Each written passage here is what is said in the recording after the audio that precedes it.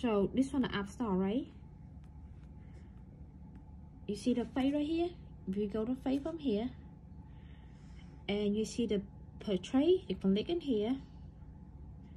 And from here not on this iPad. You can try to say uh, YouTube YouTube Studio for the kids let's say download here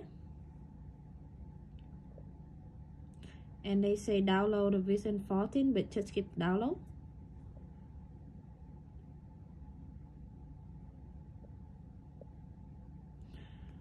The market stage YouTube see? You can download YouTube. Download. You see they running? So I download Facebook. I download TikTok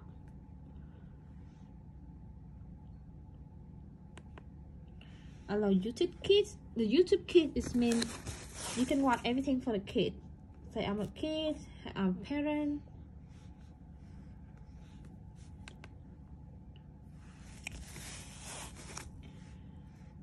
Smart Play Google Map. So I download YouTube right now.